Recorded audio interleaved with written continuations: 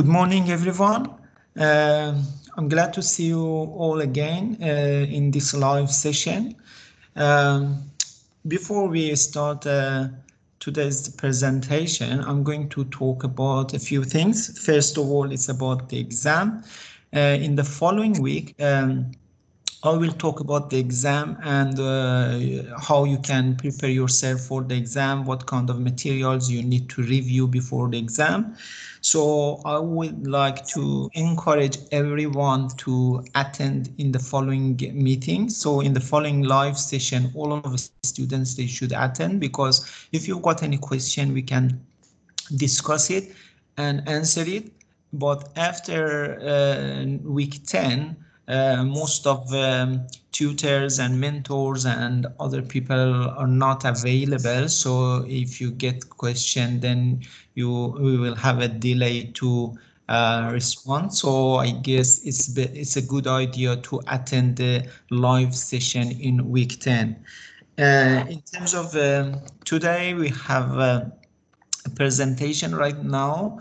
Uh, we've got two uh, guests going to talk about very important uh, topic and uh, they are going to share with us um, uh, their experience working uh, in different projects. So uh, after this at 11 a.m. we are going to um, uh, continue the session with tutorials. So tutors will be available after 11 a.m.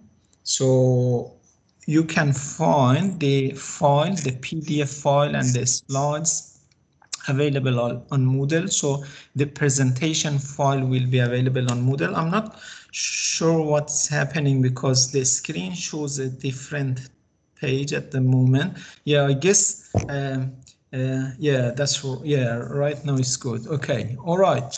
So uh, right now I'm going to introduce you two of uh, fantastic practitioners and designers, uh, Jason and John. So first of all, I'm going to uh, ask Jason and John to have a, a, quick introduction about themselves and introduce themselves. And then uh, uh, Jason is going to start the presentation. Uh, good morning, Jason and John. Good morning, Samad. I'll probably start because I'm going to kick off the presentation and then I'll let Jason introduce himself as well. All right, um, perfect. So my background is um, engineering in uh, mega projects around the world. And uh, I work with Jason and Peter L. Brabbers as director of um, Clever Planning with Geology. And uh, that's a quick summary from me. Excellent. So uh, uh, yeah, so you can uh, uh, introduce yourself as well.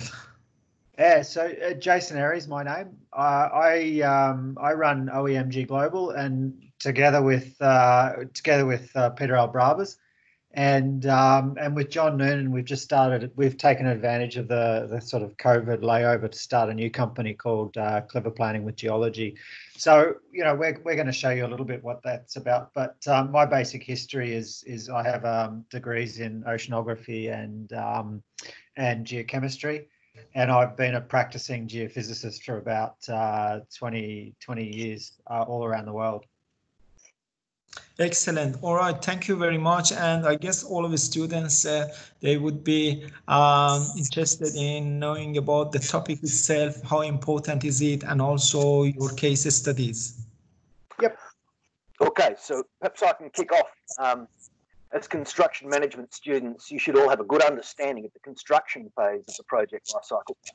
However, you must also be aware of the full project lifecycle so you can understand the preparation and planning that has led to the construction phase and the expectations of the owner in the project asset management or operations and management phase of the life cycle after you've completed your construction work. construction projects range in size across a spectrum of both value and complexity from the smallest to the very largest.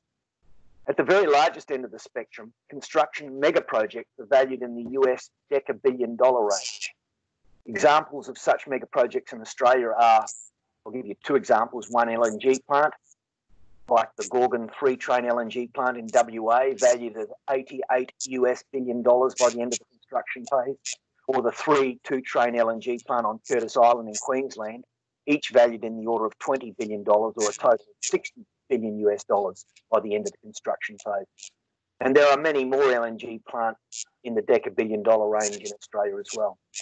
In defence, acquisitions like the Air Warfare Destroyer, project value of around 6 billion US dollars, or the Hunter Frigate project, project value of about 30 billion US dollars, or the attack class submarines valued at around 50 billion dollars in the construction phase. Now, owners invest billions in the preparation phases of the mega project lifecycle, an investment designed to secure expert estimates of predictable, simultaneous time to construct and cost of construction for the final investment decision prior to construction. Paradoxically, the estimates and predictions are always wrong. The consequence is NPV losses, net present value losses, measured in the US billions per mega project, or cumulative global mega project losses measured in the US trillions of dollars per annum. The graph shown on slide two is from the 2012 Performance Assessment Report from the Construction Industry Institute out of the University of Texas Austin campus, Engineering and Economics faculties. The graph is a plot of 975 mega projects from the CII's owner community. The graph shows a few key points. First, the owners identified the target tolerance around the origin of the graph of project cost growth, plus or minus 3%, versus project schedule growth, plus or minus 2.7%, which represents predictable performance in the construction phase to the owner's requirements. Two, mega projects fail to achieve the owner's predictable goals 95% of the time. Three, there are four modes of failure to perform in construction. One is over time and over budget. Two is cost driven projects. Three is schedule driven projects. And the fourth is a bit counterintuitive to many under cost and under schedule projects. Four, it is suspected that of the 5% of projects that fell in the success box in this graph, owners may well have moved the goalposts after construction was completed so they could successfully report a predictable construction result. Today, you will hear about a key application, the MyGeoTwin Integrated Digital Ground Model, which is a critical tool for resolving the mega project paradox in the construction phase. After this lecture, you will understand why MyGeoTwin must be used in the initiation and planning phase of any construction project on land or sea, as well as during the construction and asset management phases, and even in the decommissioning phase. Using MyGeoTwin will allow the owner of the mega project the very best chance of avoiding the mega project paradox by deciding First, where it is most important to build the pro- mega project. Second, what form the mega project construction strategy should take. And third, how best to build the mega project or design for constructability. Over to you, Jason. Yeah, thanks very much, John. So if we if we look um, a little bit deeper into what John's just discussed, so um, John's talking about the mega project or the project as a whole. Um, but if we look down a little bit deeper into what's going on during the planning and initiation phases, um, 50% of all cost and time overruns for civil engineering products are caused by unforeseen ground conditions. Okay, half of all projects that are going on at the moment run over cost or budget because of the ground conditions. So if you think about that, 100% of projects will be inappropriately priced or engineered to account for that. But basically, contractors do not believe what is delivered to them by planners, and that has a heap. That has a lot of downstream um, problems for uh, for contracting and project delivery. Um, very little infrastructure today to, built today is sustainable. So I would I want to highlight that. No matter what you hear about sustainable designs, no matter what you see about the top side of buildings, louvers, um, um, solar passive, all of that, none of that is significant when you consider that if you are pouring tons and tons and tons of concrete into the foundations unnecessarily, you will never make up for any any any you know the loss of sustainability um, for that. So if you want to do sustainable design, you have to start with the geology. All right. So on a little bit of a lighter side, um, we have a lot and a lot of fun doing what we're doing. So, so to put it in context, um, we travel around the world and we collect geological data. Um, we do small boat jobs. Um, we do, uh, this is a, a, diamond survey in uh, Namibia. Uh, this is a deep water survey um, off a big boat. We're, we're, we're, operating in around 120, 200 meters of water. Um, we do land surveys, and interestingly enough, we do um, we can work in the swash zone. So we collect um, the ground data, and we collect digital ground data. And so a lot of what this talk is about is um, delivering digital data into the project initiation phase so that we can impact um, the uh, design of the project and make sure that um, planners are able to deliver what the customer needs in a sustainable, cost-effective manner. Um, in the marine environment, um, we chug along in our boat. Um, we have an umbilical going down to the seabed, and then we tow our active cable on the seafloor. Okay, a lot of the secret sauce for um, collecting data effectively is to actually have your cable in contact with the ground that you are measuring, be that the seafloor or um, or the uh, the land. Okay, all these aerial surveys and and midwater surveys are great, but you lose a lot of accuracy with that. Um, so we're all about high definition engineering surveys. Um, as I said, we work all around the world and we have a huge amount of fun doing it. Um, this is uh, a job in Namibia, gives you an idea of a small boat survey. Um, and this is actually collecting multiple um, they're quite noisy. On this job here, you can see we've a, a mix of um, surveys, um, we're doing uh, analog surveys in terms of movements and side uh, and we've got our advanced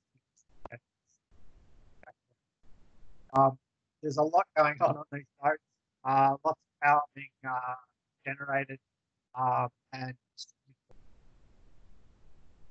got to make sure these systems are working in timing's done well, and um, and there's no cost instruments. So it's quite an art form to get these boats set up in uh, in this kind of manner. Um, what the jobs actually look like. Um, you have your little boat sailing along. This is a, a visual demonstration done by a, a, partner of ours for us. Um, the boat sails along, um, or, or, the land gear for that matter. Um, you're collecting data um, from the seabed. And there's the waterfall that we generate. We get a lot of this data um, live as we go. Um, so we can do inline corrections if we need to, if we see issues with the equipment or we think we need more or less data in a particular area, we can make on-the-fly decisions. One of the big things with our data is we get line data, but we also are looking 15 to 20 meters either side of the cable, so we can start to stitch everything together. Once we have this unified map, we look to um, doing some ground truthing so we'll drop in some, in this case, vibrocores or uh, other geotechnical methods like boreholes. And because ground modeling is a science, we target our boreholes to anomalies.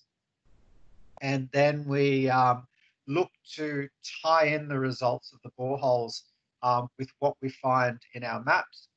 And in this case, we're generating a, a, survey plan to, find, to dig out this muck um, because that's the contaminated stuff and it's all about targeting um, what's important uh, rather than trying to do the whole lot. So in terms of the point cloud, um, what we're trying to do is develop an actual point cloud. So you can see that we're moving away from traditional paper-based survey techniques and 2D and 1D analog surveys, and we're moving into uh, a reality-based um, digital engine that you can actually use interactively and test um, and and prototype in. And, and, I, and I think that's the real key is once you have these point clouds is you can actually start prototyping. Um, okay, so let, let's move on to a case study then. So this job um, was for a port development um, in Papua New Guinea. And the idea was that we had to locate, uh, or the, the owner had to locate sufficient construction uh, sand, and they had to understand the most effective place to build the port and then the associated ground risks with building the port in that area. Had to understand where to build the approach channels and also the associated ground risk with those approach channels. Um, we got into the job um, two or three years after after the uh, uh, first studies were done, and you know this is Papua New Guinea, so it's a remote area, very difficult to um, to get to and very difficult to operate in. If you break anything, that's it. You know you're not getting spare parts real quick. So they spent two years. They spent hundreds and hundreds of hours on the ground acquiring data and millions and millions of dollars doing it. I think the final analog fee was somewhere around ten million dollars at the mouth of the Fly River in Papua New Guinea, the the report from the um, the analog contractors was that they could not find sufficient construction sand. Right? They spent ten million dollars and they couldn't find any sand at the mouth of the Fly River. Um, and the other thing that they did is they they they they pushed the original port location to a secondary port location because they thought they found too many risks at that site. Um, and then they found, and then they, but they did, uh, they did locate a, um, a, a, a, channel route. Okay. So then after two years, we came in, um, we spent 20 days door to door. So, you know, we packed up all our equipment in Australia, flew it to Papua New Guinea, spent 10 days on the ground, um, and then flew home all within 10, all within 20 days. Um, we do on the fly processing. So we we actually located 200 million cubic meters of sand in three days, um, and then we um, we found the associated risk with the new port location. Um, and but more interestingly, we identified that that where they thought they wanted to put their channel was in the completely the wrong location. So let's have a look at some of the results. So after two years and almost $10 million worth of studies, this is what they came up with. All right. They had a whole bunch of um, uh, boreholes in this area where they originally wanted to put their port. And then they abandoned all of this site and they moved it around to the north. Uh, they put a whole bunch of vibracores looking for sand in these areas. Um, and they didn't find any sand. And of course, they put some boreholes along this area here just to try and track their um, to try and prove the, uh, the channel location. Um, then we came along and these are our results. So all of this data that you see here, some 600 line kilometers of data was collected in 10 days. Um, we found this is the approach channel to their new ports. We found a whole lot of uh, unknown risks in these areas. Um, all of this red stuff represents um, harder rock material that requires um, heavier dredging um, that they didn't know about. Um, we found a whole bunch of sand in here. So interestingly, all of these vibracores uh, and boreholes were largely untargeted and they missed all of these huge sand deposits in light blue here. And they missed all of these sand deposits here. You can see they found the silt, but they missed the sand just to the um, east of where they were looking. Um, and then most interestingly, here is their channel alignment. And they perfectly picked out these rock um, outcrops here. Instead of going just uh, 300 meters to the east into this existing paleo channel. So I want to have a little bit of a, a more of a look at the um, paleo channel. So this is a zoom in here, and you can see that their their their paleo or their their design has gone straight through these rock heads. Okay. Now this channel was designed after the biggest survey contractor in the world put their best equipment and their best people on it. There was no lack of money spent, $10 million, right? And they came up with a channel design that missed the paleo channel just to the east of it and they picked out perfectly these rock heads. Okay. These are the biggest guys using the best analog technology available in the world. And they missed completely where to put their channel and what dredging techniques to use um, to dig that channel. So the risk realities. Um, all projects go through a pretty standard um, list of phases, definition, planning, execution, monitoring, and closure. Um, and about this timeline here, we can look at risks in terms of downside risks, risks that detract value from the project, and upside risks, risks that add, can add value to the project if they're treated properly. So downside risks all live in the project execution, okay, late planning and project execution phase, right?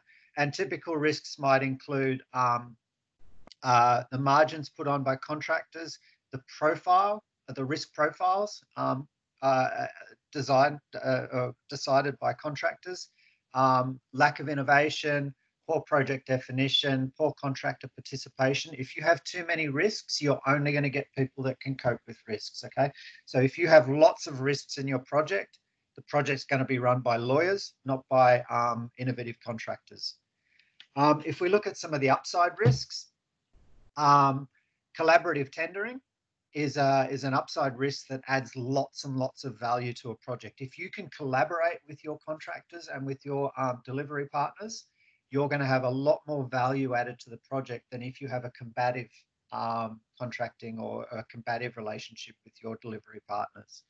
Um, insurances will be a lot less um, if you can um, uh, understand and collaborate and utilize risk on an upside basis rather than a downside basis. Um, and also if you decide where and what to build, okay? Where and what to build is going to be a huge theme through the rest of this talk. Um, the value of all of these risks, okay? They're worth a lot of money at definition. As soon as you move away from definition and initiation into planning, the value of the upside risk becomes less and less until you move into execution where you have, you know, very, very little opportunity to turn a downside risk into an upside risk. Um, so how does this relate into smart cities? Okay, where, what, how? Where am I going to build stuff to satisfy customer needs? What am I going to build to take advantage of the natural geology? And how am I going to build it? Right? If you get your where and your what right, your contractors are going to tell you how to build something effectively. That's what they're good at. They're good at the how bit. The planners and the initiation people have to have to tell you where and what to build. All right. So where lives in project initiation? Where am I going to put it? Right. If, if I've got to put people, if I've got to move people from A to B, where am I going to put my infrastructure to do that? That's initiation. Right. Once you've decided your where, and some of it might be on geology, some of it might be on the, you know, the cadastre, what buildings are available. But either way, there's a where in there. Then the planners take care of what they're going to build.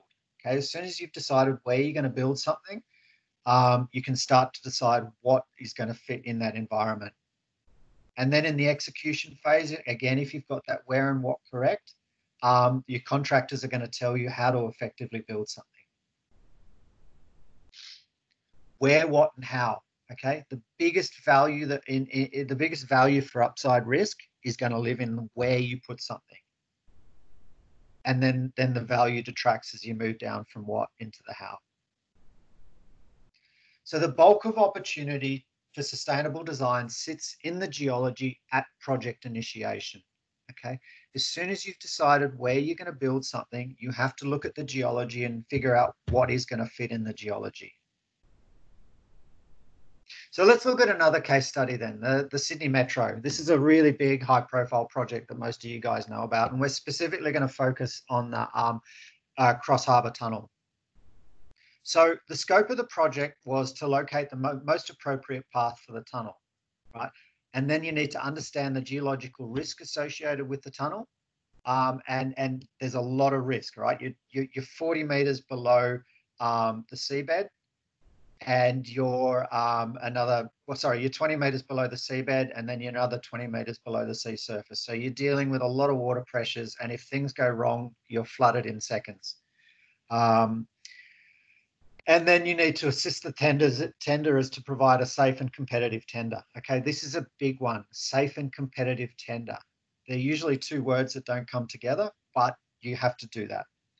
Um, so there was a failure in the legacy systems, right? They, they went out and they spent, again, similar to, to Papua New Guinea earlier, they spent two years and hundreds and hundreds of hours of acquisitions and millions and millions of dollars trying to process the data to provide a clear understanding uh, of the geology. Everybody thought it was a simple geological setting, but in actual reality, under the harbour there, it is an incredibly complex setting filled with microfractures and paleochannels and, and, and incised valleys and so on, um, uh, as well as shales and sandstones li living together.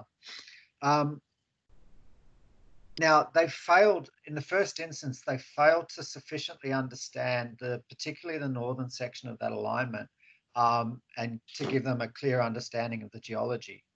But by this time, um, the you know the rest of the project couldn't wait for the uh, the harbour guys to um, sort out their understanding of the geology, and the the stations were already placed either side of um, in Barangaroo and and and on the northern side.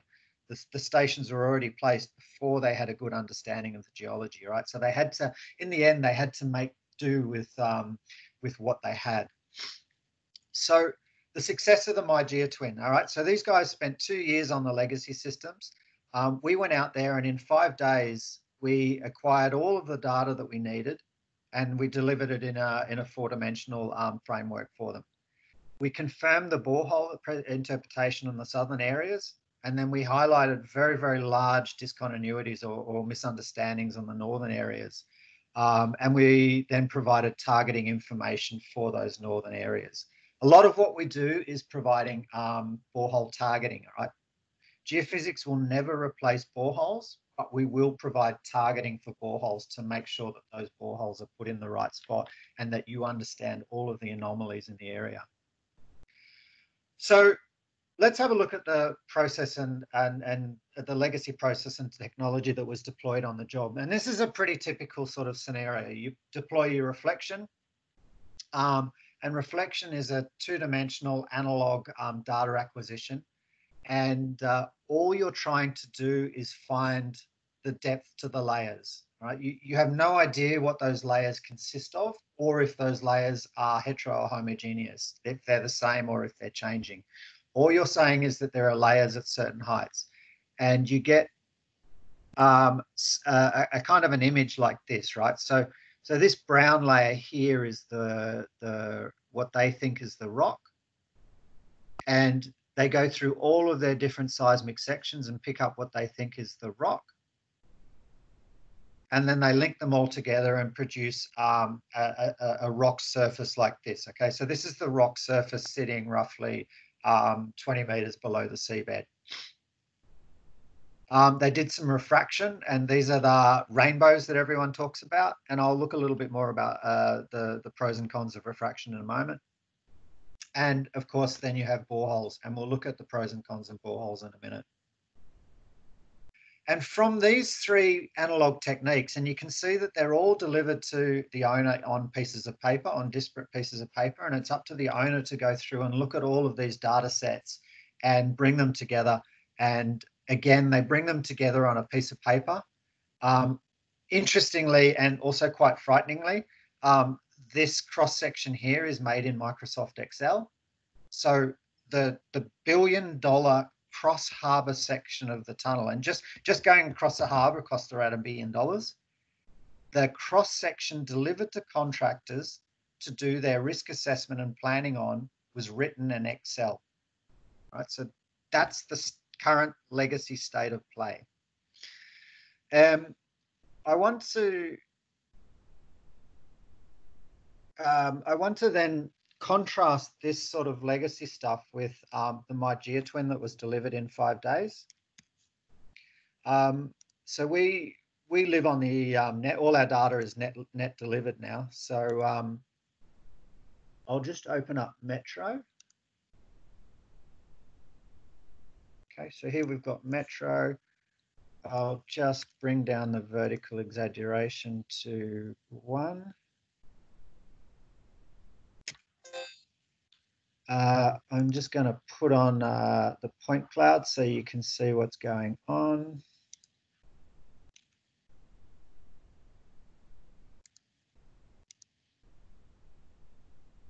And turn that on. Okay. So similarly, we have all our data in the point cloud. Okay, so all of this was collected in one day. Uh, sorry, uh, two days. Um, I'm just going to turn this off and this is the um, legacy data. All right, so the blue stuff on the top is the bathymetry and the the this this redder sort of ochre color is the uh, surface of the um, the rock that was determined by um, legacy technology. Now, one of the interesting things that you can see from this is that according to this kind of map, it seems that this whole area is comprised of the same material. Right. So in, in the case of Sydney Harbour, it's a sandstone. And that is absolutely not the case. Right. It is it's comprised of compacted sand, it's comprised of um, um, degrading sandstone, there's some shales in there, there's a whole heap of fracturing. So if we start to look at um, what is really going on in here, um, I can start to draw some sections on through here and, and these are drawn on the fly. And if I get rid of the base map, we can start to see how the Aquares data is really lining up, except in this area here, okay?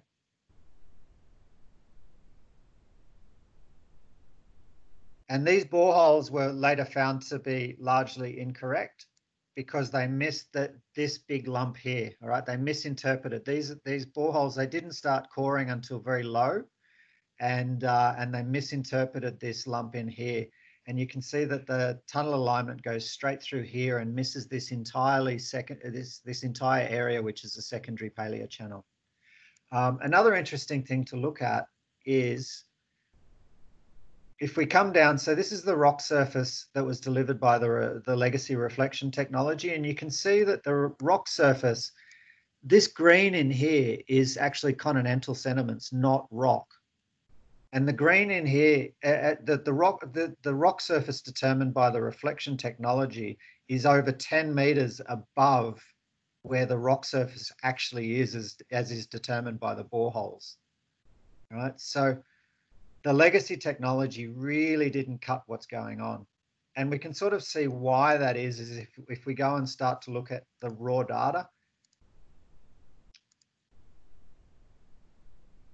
Um, and the raw, so if we come in here and zoom out, we can see the raw data that makes up this section. And there's a whole heap of problems in here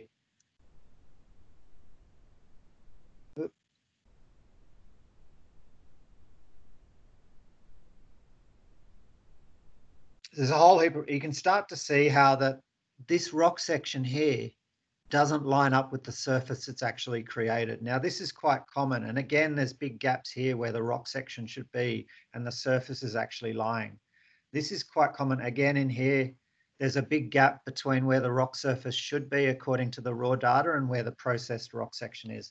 So I won't spend too much more time on that other than to mm-hmm. say you need to be very careful with these two dimensional sections and you need to understand the raw data and where it's coming from.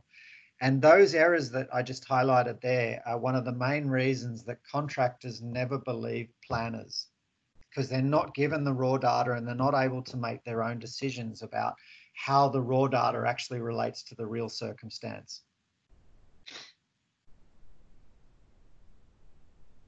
So moving on. Um, the different technologies deployed, seismic reflection, um, all we're trying to do is pick up depth to layer. All right, so depth to layer. Someone goes to and takes these sonograms from the raw data and they go and they hand draw where they think the relevant sections are or the relevant depths are. And then they take the next one and the next one and the next one. If these processed on a Friday night when the guy, when the person wants to go and have their, uh, their shandies, then these are rushed. All right. But, you know, it's very rare that these SEG-Y sections or raw sections are actually delivered to the customer. So it's almost never the case that these are checked. Um, there's a whole bunch of errors. Basically, your source comes down. You need to determine the sonic velocities for all of these. So these heights can be a long, long way out. Um, and I won't go into too many of the more problems here, but understand that this is a complex and manual interpretation of these sections that needs to be understood. Um, and very few people beyond um, the geotechnical guy or the, the geologist that took this data understand but you need to know that be aware that there's a lot of manual interpretation in here that needs to be understood. Seismic refraction, again, this is even more um, this is even more black magic. Um, and delivering a, a coherent cross section from this kind of data is extremely difficult. Um, again, it's manual interpretation, and not many people actually believe in in refraction. Um, so I'm just going to leave it at that. Other than to say there is no vertical data uh, contained in this section, and the only way you get these vertical sections is you stretch the data to match a borehole. Right, so that you, you can't contrast the, the refraction data with a borehole, you because it's you can't process refraction without the borehole. Uh, and then you have advanced geophysical methods. Um, and advanced geophysical methods are digitally interpreted. So we don't touch our data um, manually. Um, they're multi-dimensional, so we collect depth to layer information and quality at the same time. Our active arrays are in contact with the seabed and the point clouds are available. So case study three, um, Lüderitz in Namibia. This is quite an interesting study and it was the video we saw earlier. Um, and uh, and um, this was interesting because it combined legacy technology with advanced technology, and I'm going to go through some of the pros and cons of that just now. So here is the um, boomer plates, um, the noisemakers. Here's our gear going down the middle. We've only got one cable, and here is the receiving array. So here's the noisemaker, and here's the receiving array. Um, what were the outcomes? Well, in terms of the quality of the data, the, the depth to layer information was pretty well spot on between both systems um, where it worked. But you can see here that the, ref the reflection survey completely missed um, the bottom in this area because of a phenomena called gas masking. Okay, so our, our technology went straight through this gas masking area, um, the shallow gas, and uh, and found the bottom regardless. This is quite a common occurrence, um, and it, again is something to be looked out at. Um, case study four is Flinders Port, um, and this was quite interesting because it was uh, the um, the owner went out and got a whole lot of uh, geophysical and geotechnical data, and um, and uh, went to went to market with that data, but sadly for them, it turned out that their data was completely wrong because they'd used the um, legacy technology inappropriately. And the dredge companies came along and, and figured this out and, uh, and, and they made a lot of money out of variations for this job. Um, so this is the basic setting. Um, they wanted to deepen the channel in this area here. And this was the data that the channel that that the um, the the owners went to market with, and you can see it's a typical occurrence of soft material over hard. Um, and they thought it was a very easy job uh, for the dredge companies to do. And when they got their low dredge prices, that was what they expected it to be. But when the dredge companies got out to Australia and um, um, actually tried to dredge, they found it was actually very hard on the top and very soft underneath. And so this completely changed the dredge parameters and it meant that they mobilized from Europe with the wrong equipment, had to send everything back to Europe and then bring out new equipment for the job. So it was incredibly expensive for the uh, Flinders Port Corporation, this job here. So refraction, um, it only works in ideal circumstances where you've got soft material increasing to hard material. Um, if you've got hard over soft, the um, you're going to get so much noise created in this hard layer that you're going to get no visualization of what's going on on the bottom. Um, and it will always look as though you've got soft material over hard. Um, discontinuities, if you have uh, vertical discontinuities, um, you're never going to get this kind of information out of refraction. Um, and again, if you're towing midwater, um, you're going to get a whole heap of errors just in this section there. Um, if you've got vertical layering, so now we're looking at a plan view. If you've got hard material, either bounding soft material, you're never going to get information about this soft material because um, you'll get so much noise created by the bounding hard stuff. Uh, and microfracturing as well, you can't pick this out. So case study five, um, let's look at Cape Canaveral. Um, here, this is a, another really, really interesting project because they needed to do some channel deepening again. Um, they'd collected, this is a 70 year old port, right? And whenever you talk to port owners, they're going to be like, oh, I don't need to know anything more about my port. I've been operating it for 70 years. And in this case, they had 264 boreholes. But fortunately for the port on this particular channel deepening job, they had a, a, a person that actually was able to sit back and say, you know what?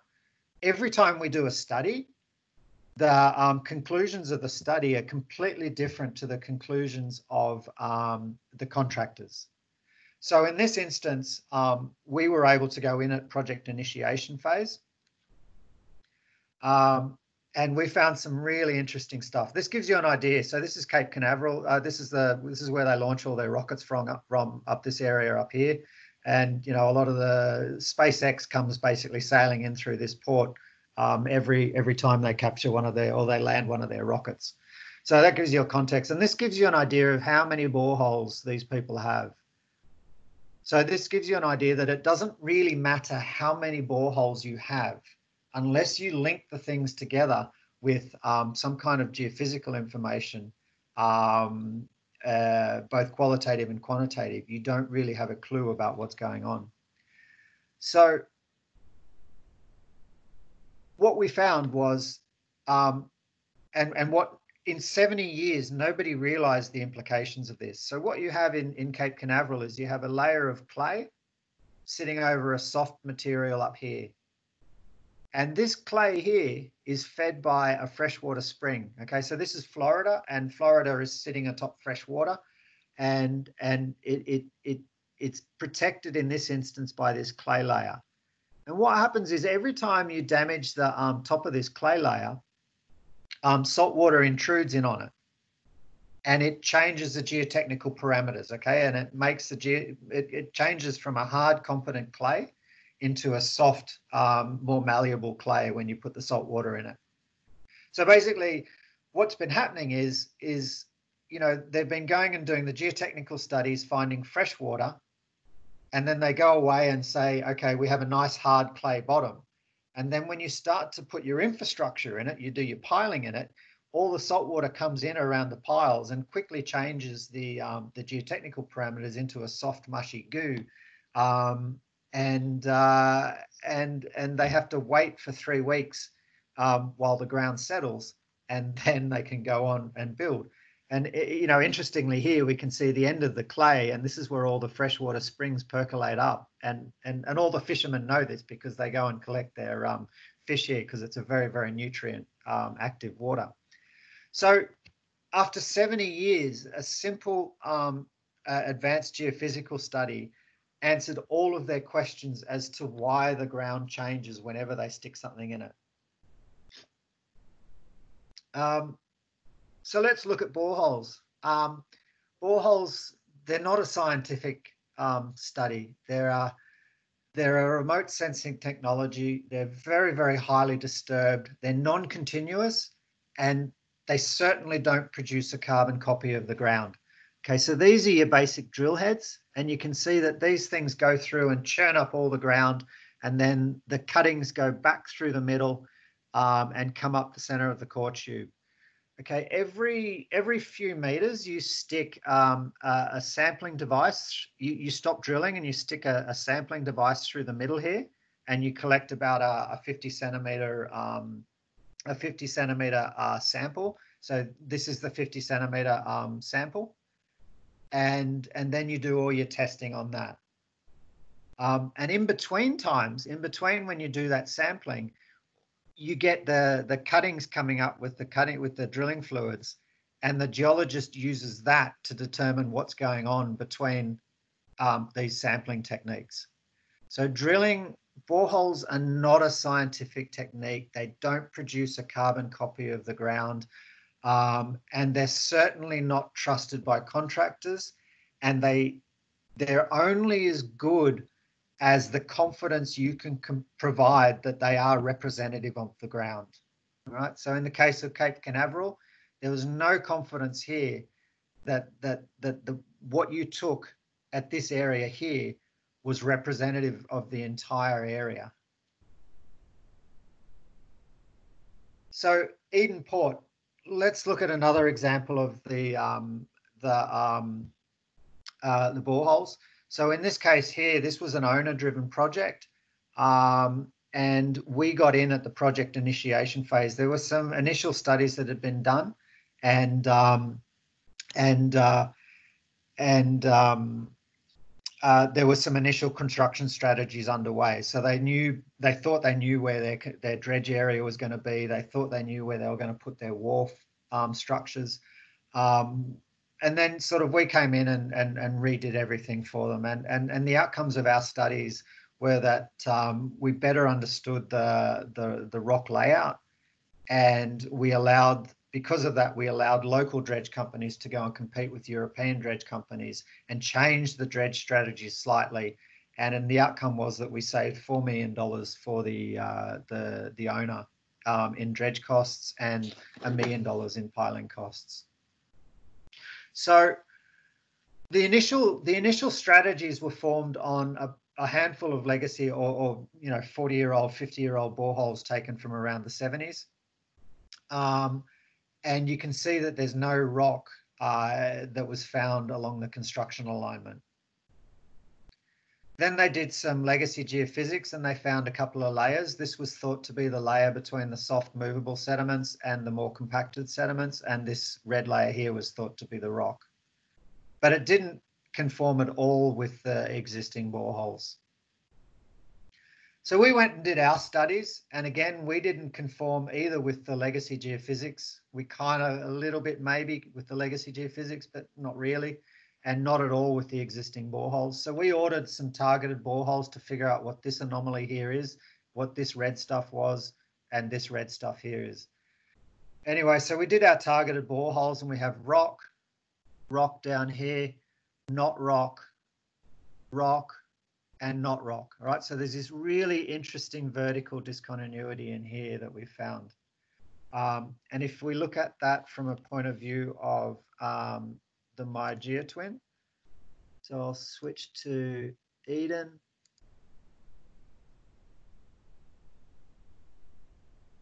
Apologies.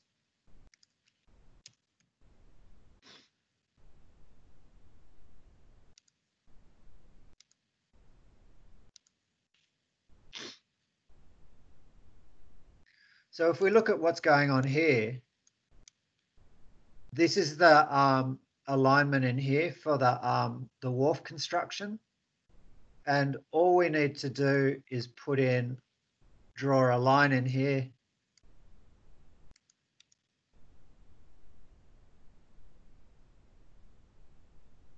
Sorry, I'll just edit that a bit. So I can do all sorts of interesting editing on the fly here.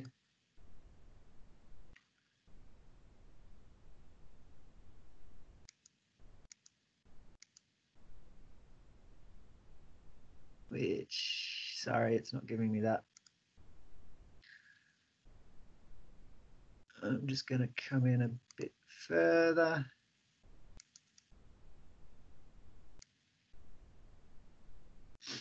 Okay, so there, there's our anomaly in there. And if we push this back away, you can see that anomalies perfectly in there. And I'm just going to push this away because it's kind of interesting how it it's only in this area. This is a Sod's law environment where this anomaly only exists right on the construction alignment. So if I go, if I just turn this around, you can see that it's fading away.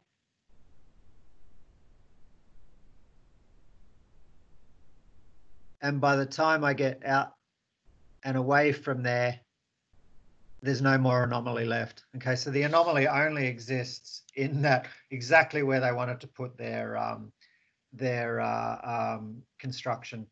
And you can look at that in the horizontal. Again, we can just clip through our, there's a, a point cloud in there and you can see there's the anomaly in there. And if we go down a bit further, by the time you get to uh, minus, um, 18 meters, the anomaly is completely gone. So it's just in there that that anomaly is sitting.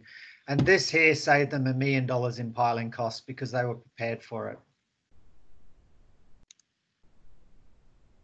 Um, so looking at um, looking at what a digital twin is and isn't. So a 2D image is just not has no relevance in, in, in modern construction or 3D digital twins. Okay.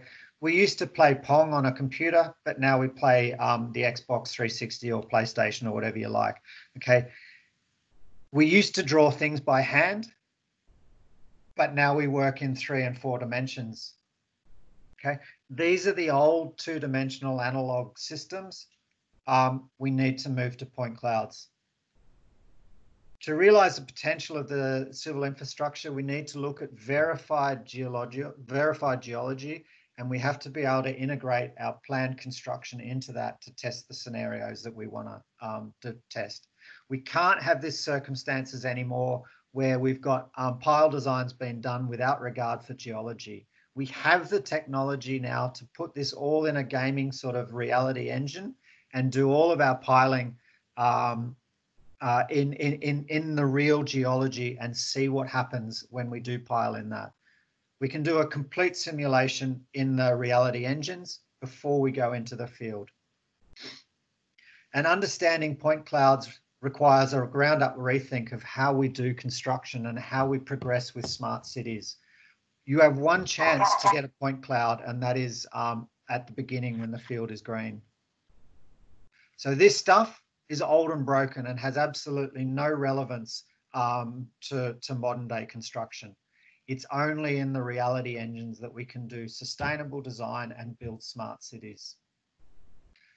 This is um, and this is an example of how we can use that. This is uh, AutoCAD Civil 3D. Point clouds are sitting in there. These are a bunch of mate, uh, mates of ours that build three uh, uh, holographic engines down in South Australia. Put all of our data into a hologram. This is uh, one of the leading digital consultants that has built a, a reality engine to take um, our point clouds.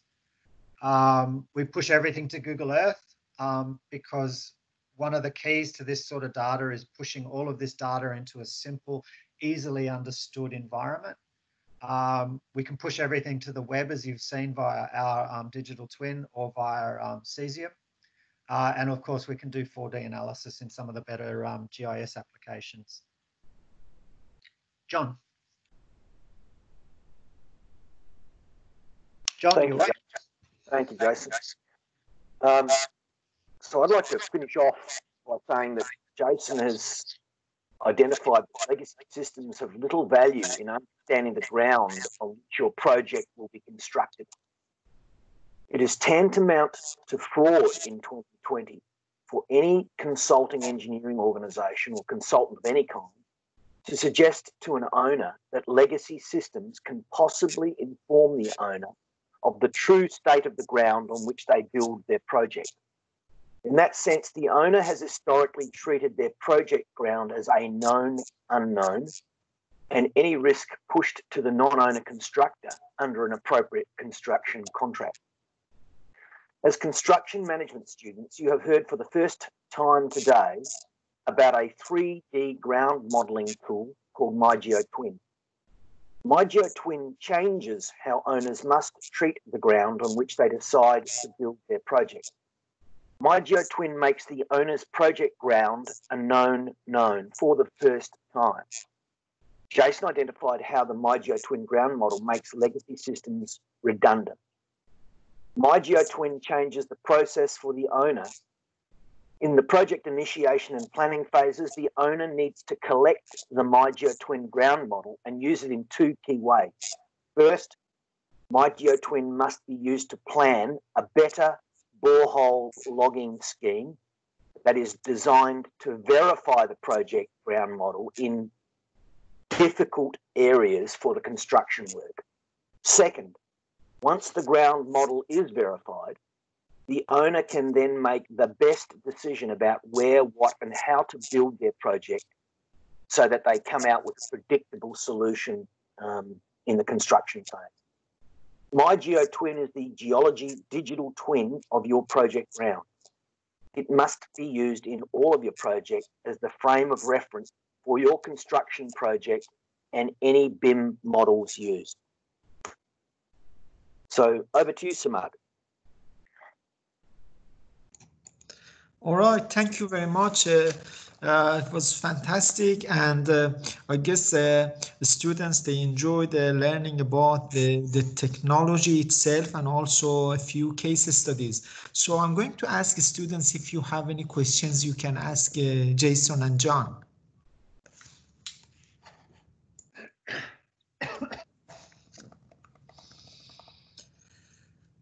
Any questions?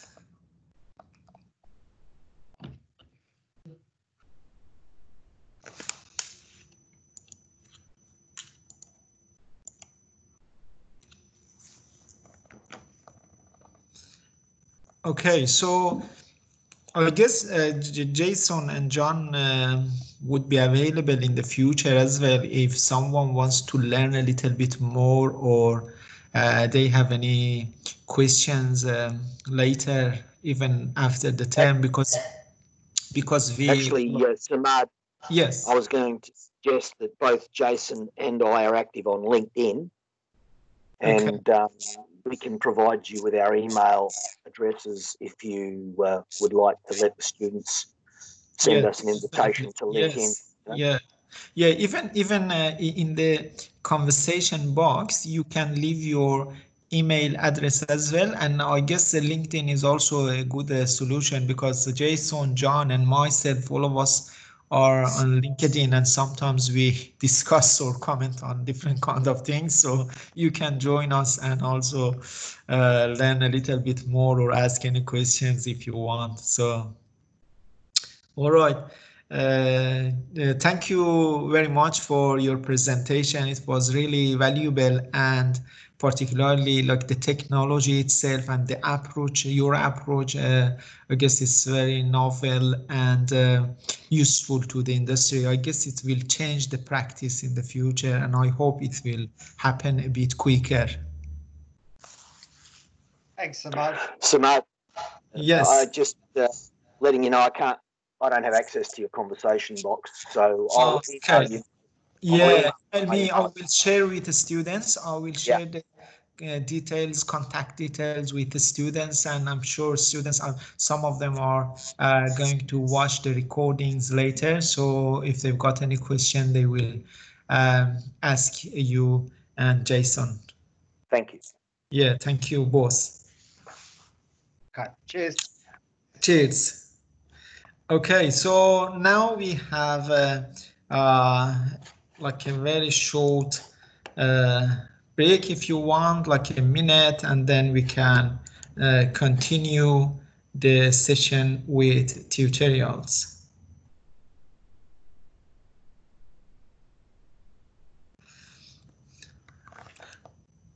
Lauren, can you hear me?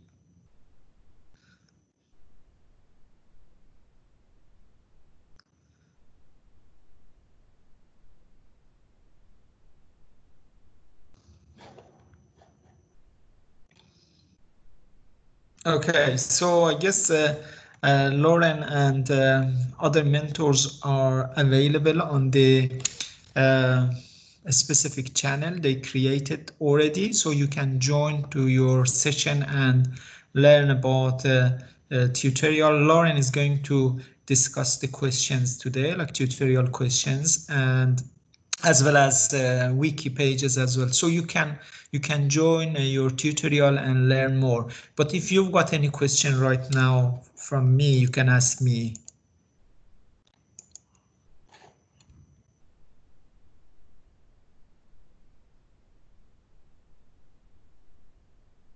Okay, we've got one one uh, uh, question about the exam.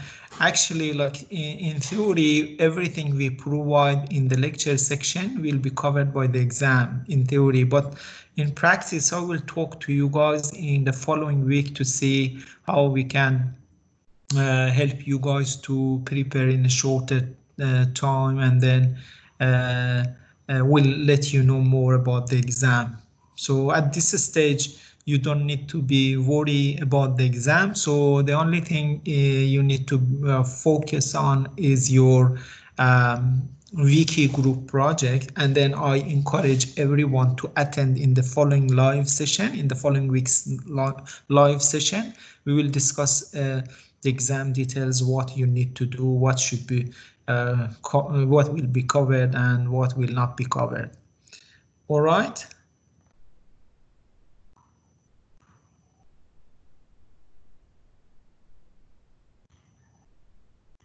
Okay, so uh, there is one question about the video.